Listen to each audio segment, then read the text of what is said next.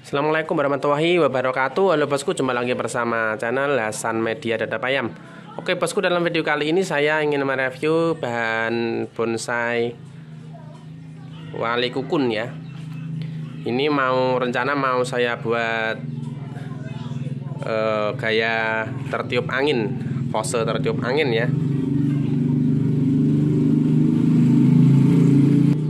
Ini tunasnya sudah pada tinggi-tinggi namun saya masih liarkan dulu biar aja liar. Yang ini biar ke atas dulu. Karena ini waktu dongkel ini kita dapat e, dari bahannya itu sudah meliuk ke samping sini ya. Jadi kita tetap akan mengikuti gerak dasarnya ya. Tidak mungkin kita melawan gerak dasarnya. Jadi kalau dia miring ke sini jadi kita e, harus mengikuti gerak dasarnya. Jadi kita akan membuat berat lebih berat ke sebelah sini ke arah sini ya karena ini berarti kalau kita lihat dari kronologi alamnya ya drama dramatis alamnya pohon ini sebenarnya tumbuh. Dia lebih condong miring ke kiri. Kalau dia miring ke kiri berarti lebih berat ke kiri maka bisa bisa dibuat model angin tertiup angin atau bisa juga dibuat model biasa tetapi tetap berat sebelah kiri.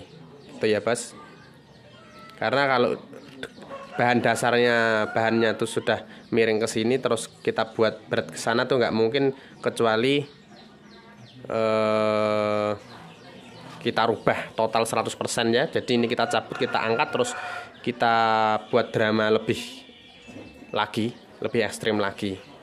Atau di carving atau di akalin dengan cara yang lain ya. Tapi kalau kita mengikuti gerak dasarnya dari alam ya kita dapatnya segini seperti ini ya kita akan mengikuti gerak dasarnya. Oke sekarang sudah tumbuh tunasnya. Ini adalah updatean terbaru. Bahan bonsai wale Oke bosku. Semoga bermanfaat ya. Sedikit informasi. Tetap semangat. Salam satu hobi salam sukses selalu. Wassalamualaikum warahmatullahi wabarakatuh